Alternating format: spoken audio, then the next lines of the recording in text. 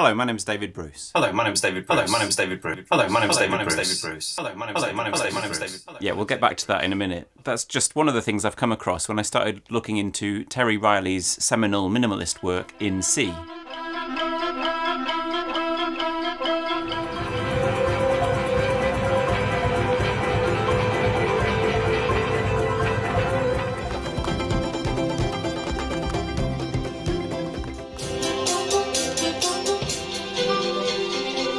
In C has always been a piece I've known as one of the key pieces of 20th century music, a piece that almost single-handedly kick-started minimalism.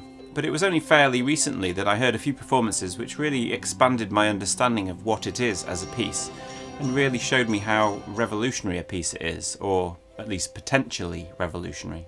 I say potentially because I also started wondering whether the piece was just a miraculous one-off, or might it just be the blueprint for a whole new way of composing.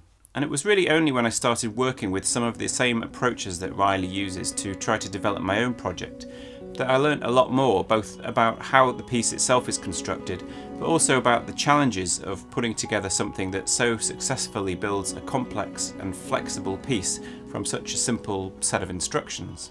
So let's start with something that won't take very long, a look at the score.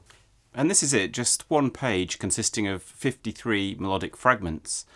There are no instruments specified, it suggests it could be about 35 players, but says that smaller or larger groups will work as well. And each player starts at the beginning and repeats each fragment as many times as they want before moving on to the next. There's a little bit of guidance beyond that to say that you should stay within roughly two or three patterns of each other. The score says it's important not to race too far ahead or to lag too far behind. Although in my experience this seems to translate as stay within two or three patterns of someone else. It's not uncommon in recordings to hear four patterns at once, for example. And that's pretty much it, a single page leading to a piece of music that lasts anywhere between 45 and 90 minutes. You can get a sense of how it works if we look at how these three parts progress here. The key thing, of course, is that they all lock into the same tempo and the same underlying pulse, but while they start together, when they move to the next fragment at different times, you get syncopations and different overlapping patterns emerging. So the piece sounds very different every single time it's performed. Brian Eno said the score is more like a packet of seeds, and every time those seeds are opened, something new and unique grows. The most famous early recording of the piece with Riley himself involved included a pulsed C keeping time with a stream of eighth notes throughout. And this has been fairly standard as part of the performance ever since. But it was actually something of an afterthought, as Steve Reich here explains. I played in the piece, uh, with there were a lot of problems in rehearsal staying together, and I suggested to Terry, why don't we have somebody, you know, the good drummer, why don't we have somebody sort of drumming out something uh, like C's uh, that'll just keep us all together, and that's how the pulse entered the piece. But in all honesty, while I contributed that detail, I certainly learned from that piece enormously. So it's interesting that an aspect of the piece that for many of us is one of its most distinctive features was an afterthought. And it remains an optional instruction today. But actually one of my favourite recent recordings, again featuring Terry Riley himself, was by the ensemble Stargaze, and it doesn't have this pulse. And to me what's quite revelatory about it is how flexible the performance is and how unlike a stereotypical minimalist piece it sounds.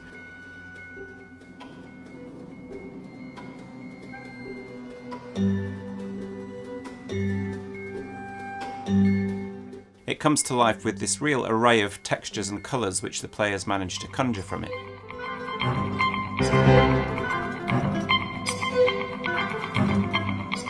And this performance, more than any, managed to open my eyes to how the piece is so much more than just a simplistic blueprint for a minimalist piece. What Riley's actually done, I realised, is he's ceded some control over aspects of the composition and given them back to the players. So the players can now genuinely form a creative part of the finished piece. They're using the full extent of their musicianship to find the right way of joining the texture and creating that overall effect. And I think that's something quite remarkable. What often happens with us composers is that we turn up to the orchestra looking a bit sheepish, and the players see us and they think, who's this weirdo? And that's basically the basis for the whole working relationship. So in this model, there's a much richer sense of co-ownership for the piece, and I'm sure that that relationship is therefore a lot nicer. Another great version of the piece is Damon Albarn's Africa Express project, which features musicians and instruments from Mali. This one's a little bit freer, there are some improvised solos beyond the notes written in the score, but it's still again a rather beautiful example of how these simple notes can create a rather beautiful and well structured hour long piece with the help of those wonderful musicians who take part.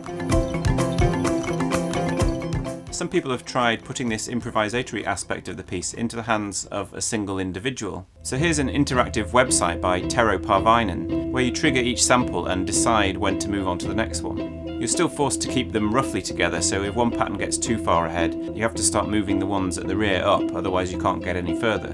But it's a very effective and nice way to get a hands-on experience of performing the piece without actually having to play an instrument. There's another version which we'll look at more in a minute, where the fragments are loaded into a session view in Ableton Live. Each one is assigned a random number of repeats before it moves on to the next. So here the piece will in fact play itself, or you can move them along yourself manually if you prefer. And several fully automated versions of the piece have also been made, including the wittily titled In C++, C++ being the programming language the code was written in.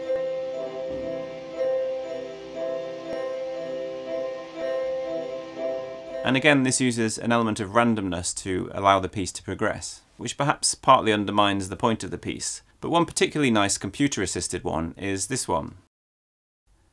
Okay, are you ready? Hello, my name is David Bruce. Hello, my name is David Bruce. Hello, my name is David Bruce. Hello, my name is David Bruce. Hello, my name is David Bruce. This is an interactive website called the Repeater Orchestra, and when you make a sound through your computer's microphone, the program repeats it back to you a random number of times. So using this, a single player is able to generate the whole piece simply by choosing when to play the next melodic fragment.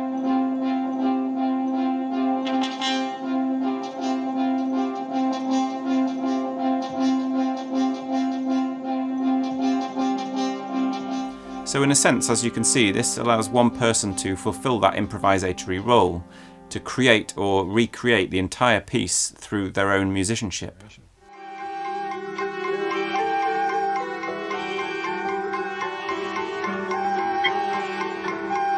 The idea for In C emerged partly from Riley's friendship with La Monte Young, but also his experiments with tape machines. In a sense, the, the roots of In C uh, started here in Paris. I did work here with Chet Baker in 1963 for a Theatre Recamier uh, project.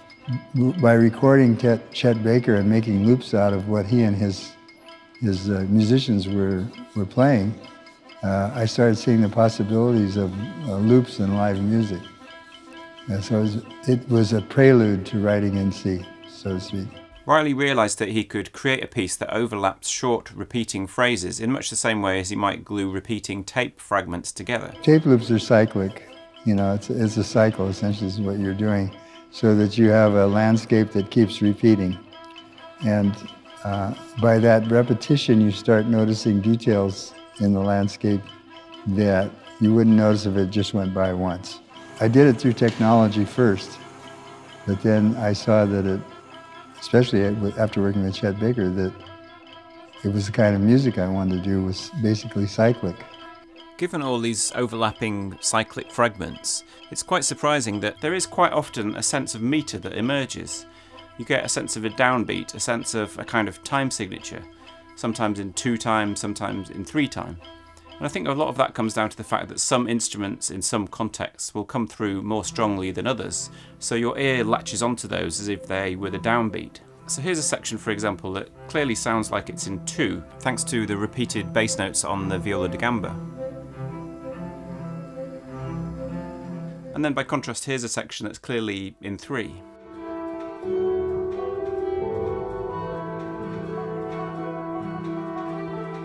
This is one sort of journey that happens across the course of the piece. And if you look at the score, you'll see that the piece starts with sections that sound like they're mostly in 2, and then there's a central section in 3, before returning to 2 at the end.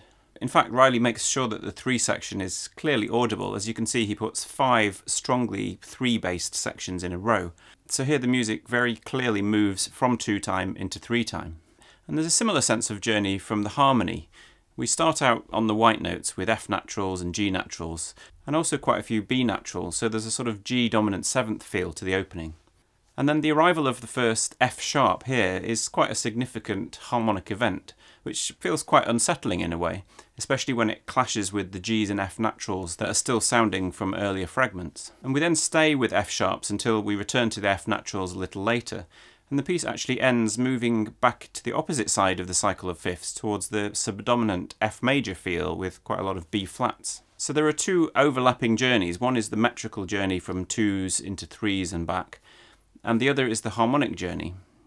And there's also perhaps smaller journeys you can map, such as the change of register with this rising movement here, or the journey of the lengths of notes, which definitely affects the overall flow. So when you arrive at these longer note fragments, or fragments with lots of rests, the whole pacing of the music relaxes. And I think it's the combination of these interesting little journeys, all going at slightly different paces, that maintains our interest when we listen. But one final harmonic question for you. Is in C really in C? Well, to the extent that it uses mainly the white notes of the piano and moves between the dominant and the subdominant of C, I guess it is. But it's striking what a sort of gentle and even slightly coy C it is. In the opening, for example, the C only really appears as a grace note. It's really E that forms the most prominent note of the opening. And then look at the ending, there's no sign of a C anywhere. The last one we hear is in fragment 42. I mean, I guess it was inevitable that in such a cyclic kind of piece that arriving at a sort of cadential tonic was never very likely. But it is striking how much of in C seems to avoid the note C itself. But I think the answer here is that the title is more than just about the harmony. The title gives the piece a sense of being really simple, back to basics. And I honestly think it's an important part of its success. People, amateur groups, or less experienced musicians are willing to engage with this fairly radical idea because it seems from the title like things aren't going to be too hard. And this accessibility was an important part of the piece for Riley, who very much saw it as music to help create a sense of social bonding. The score itself even generously says if for some reason a pattern can't be played, the performer should omit it and go on. Now how many pieces of contemporary classical music could you offer that instruction for? So the piece undeniably works extremely well and with great economy and efficiency. As Riley himself says, barely a day seems to go by without a performance of it somewhere in the world. But does it have any lessons for us as composers? Is it just a one-off that wouldn't really work if we tried something similar? Or could we create new, different pieces, pieces that aren't necessarily minimalist sounding, that would in some way mirror some of the approaches discovered in this piece? And I'm really thinking in particular about that communal music making, that way the piece offers a relatively small set of instructions that allows musicians to bring out their own musicianship into the creation of a new piece. So I was trying to think about it and think what other kind of piece could you make uh, where it was built out of small collection of elements which it was then up to the musicians to build into a larger piece. And I was thinking about some of those great orchestral seascapes you get, Debussy's La Mer, or John Luther Adams's Become Ocean, or even John Adams's The Dharma at Big Sur.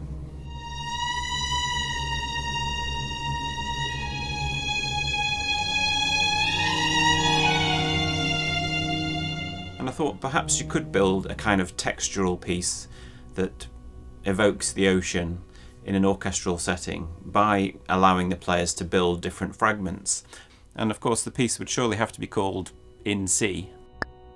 So I thought, well, I'll give it a go by creating a, some small fragments and loading them here into Ableton Live, just so that we can test it out. Um, so I mentioned earlier the version of In C that works on Ableton Live, and I basically just did a very similar process here. So if you look across the top here, you have eight different instruments, and each one, if you look at the MIDI here, each one for each line across is exactly the same. Um, so this opening one is just a trill, for example. So I can start the trill off. This is the equivalent of having players who are just starting this in their own time. And you can see you can create a nice texture.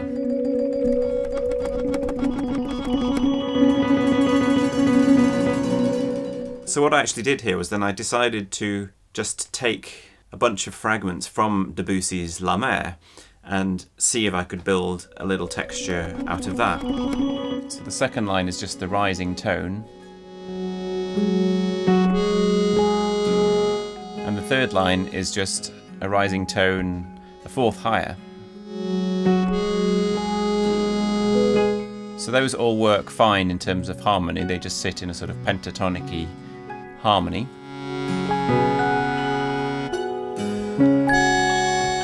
But I quickly started to realise how important it was to think about harmony when you're working like this, and I could see why the harmony changes so little in In C. You've got just that one change to the F sharp and then back to the F natural, and then one further change to the B flat at the end.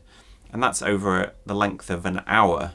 So it's really, um, it's difficult to see how you could build this kind of flexible piece with a faster changing harmony than that. So I tried to gradually increase the, the dissonance. And so when, when you get down here to this level, you end up with a, an A natural in over the B bass. So it starts to have a slightly more dissonant sound.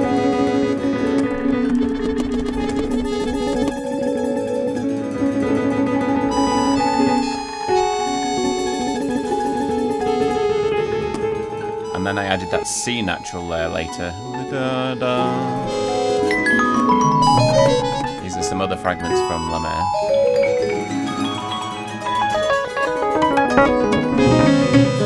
But you can see already how um, we're almost beginning to lose track of the harmony. It's uh, we, we might have any of those pentatonics, we might have the A natural and the C natural all potentially sounding together. So slow moving harmony is definitely one of the key things. This all still sounded a little bitty for my taste, so what I ended up doing was adding this held chord from John Adams's piece to give it a sort of B major underpinning. And then I think everything works quite nicely and a lot better over the top of that.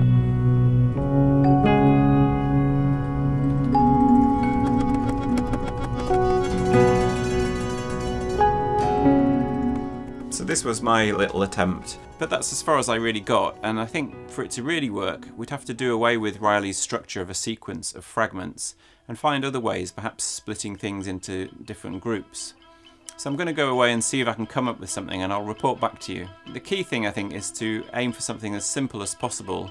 I really think the instructions should fit on a page and allow the players to bring something of themselves to the piece.